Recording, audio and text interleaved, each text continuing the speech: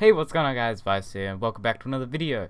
This video might not be for most, but uh, my most viewed video, which is a texture pack time-lapse, has uh, now got a lot of views, and people wanting a tutorial, so here I am making a tutorial. So, yeah, let's start this off.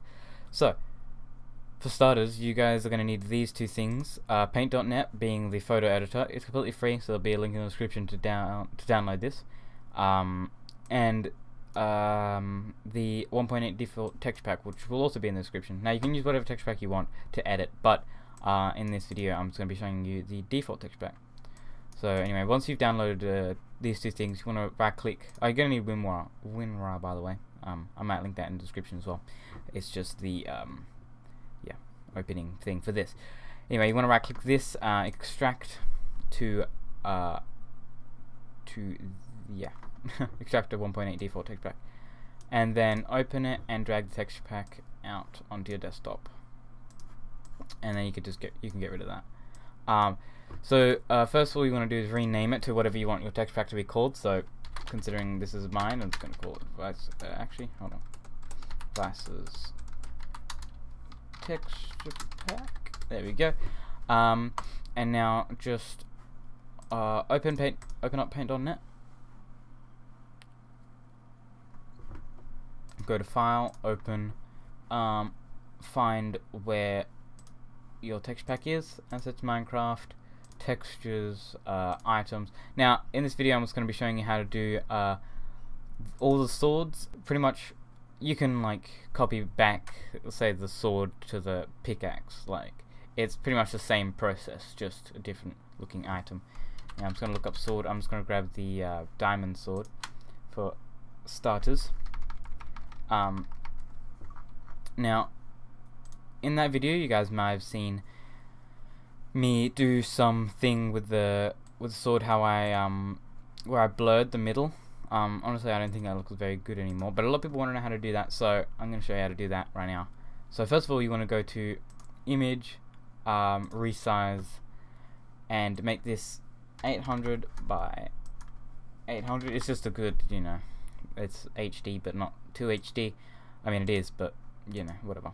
And um, your um, your resampling thing would would normally be this one. I don't know how to say it, but yeah, it'd be that one. You want to change that to nearest neighbor. If you if you just leave it on that, it'll go like when it when it's all big, it's gonna go all blurry and horrible. So um, if you go to image, resize, and change that to nearest neighbor, Make sure it's 800 by 800. It will stay the same and it won't go all blurry. Alright, now what you want to do is you want to duplicate the layer. So now you've got two swords.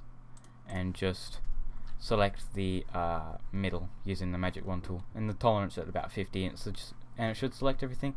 Go to effects, blurs, Gaussian blur, and just bring that up to like, I don't know. I can 30 is good about that. And uh, yeah, so that's pretty much how you do it. Alright, but I do want to show you a different sword design um, because I don't want I don't want this video to just be that. So uh, I'm just gonna make a pixelated sword. So I'm just gonna delete everything that's here and pretty much just start from scratch. Don't bother about like having colors at start. Uh, just go with a black and pretty much just just do whatever you want. Pretty much just um, I don't know. It's not it's not very hard to just kind of create a sword. You know. Um, I'm not the best at it, but like obviously because I don't really do these anymore. But yeah, just kind of mess around with it, see what you come up with, kind of thing. You know, maybe.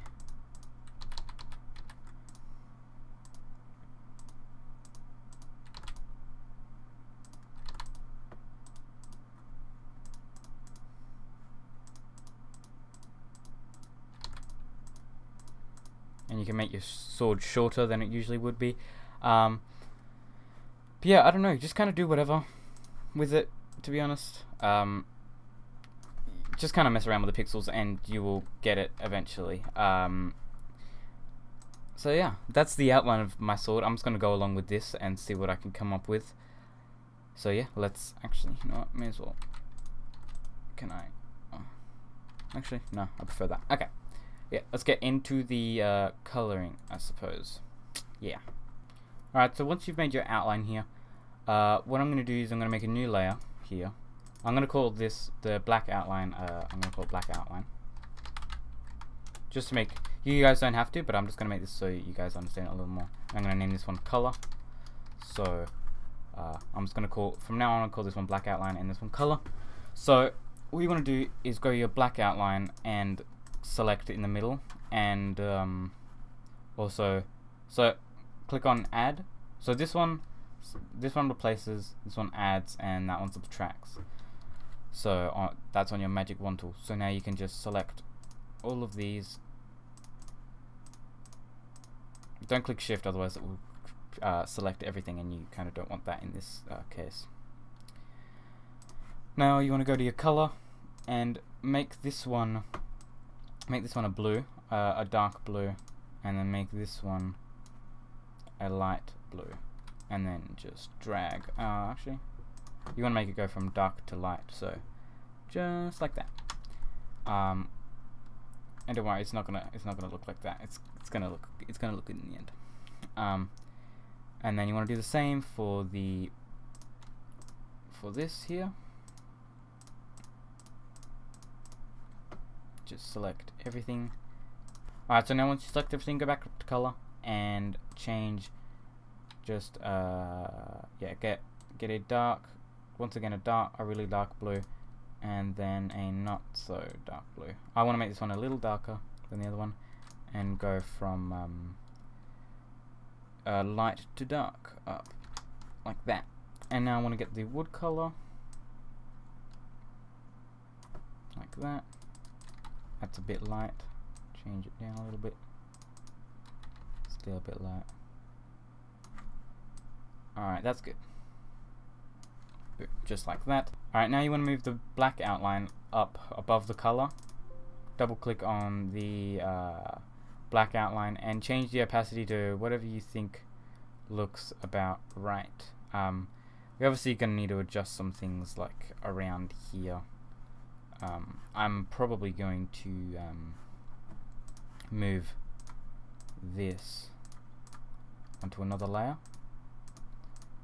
by simply just doing control X and creating a new layer and pasting it. Now I'm gonna make sure to deselect. Uh, deselect is um, control D by the way guys. I probably should have been telling you that. Control D is um, to deselect.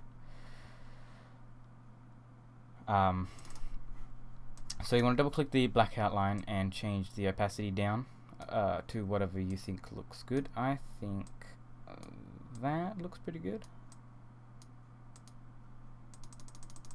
Just just whatever looks good guys uh, I wouldn't recommend copying what I am doing but and then I think I'm gonna get rid of this one in the middle because otherwise it's a bit dark oopsies Wrong layer.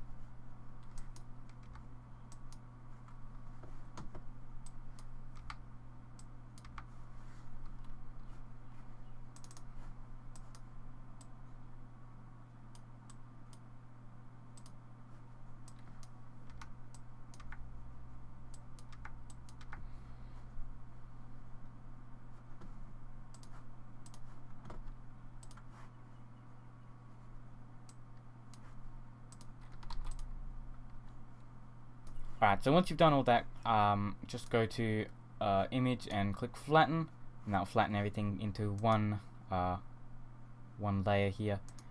Now you can go to adjustments and go to hue slash saturation and mess with the brightness. Actually that's not the best place to do brightness. Go to adjustments you can click brightness and contrast and change around the brightness to make it a little brighter. Change the contrast, you know, just kind of mess around with however you want. Uh, I think Ooh, that looks good. No, I'm just kidding. Um, I think I'm going to leave mine about there, maybe. There we go.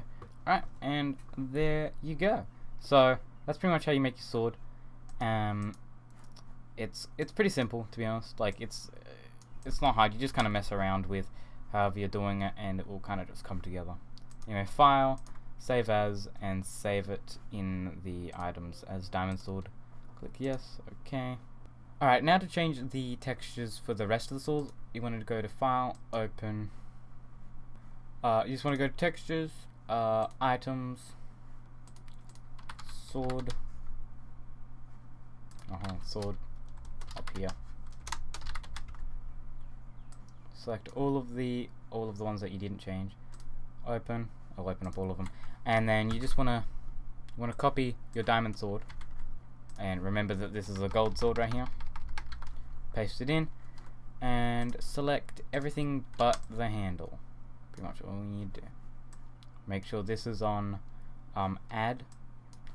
Go to adjustments use slash, hue slash saturation and change this to one gold color pretty much. And remember you can change around with the saturation to make it you know just mess around with it and the brightness. Uh, I wouldn't recommend changing the brightness, so it just makes it kind of look cloudy, sort of thing. Um, anyway, for me, that that's pretty good gold color. And then the iron sword. Iron sword a little more tricky, but we can do it. Select everything. Alright, so the, uh, the iron sword's a little more tricky because obviously you can't get like a white color. So the best you could do is just change this to zero and change the saturation down to the bottom. Go to adjustments, hue, uh, contrast, I mean brightness slash contrast. Change the contrast up and the brightness up. Change the contrast down a little bit, otherwise it makes it look weird. And uh, but obviously you can mess around with it a little more. Kind of looks like a stone sword at the moment, um, which which sucks, but it, it just looks like a shiny iron sword. Um, now the stone sword. Stone sword is uh, really easy actually. You just want to select it all once again.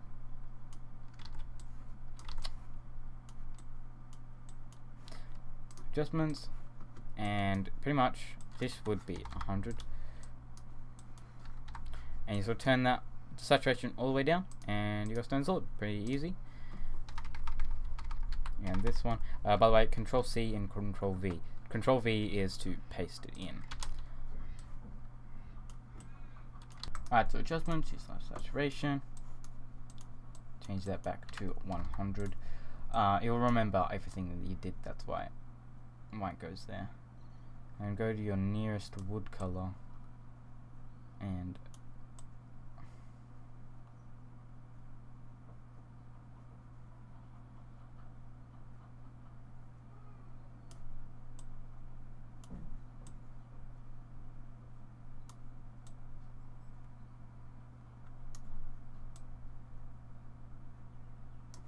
That looks pretty good to me. And there you go. And then you just want to Control S. Control S them all.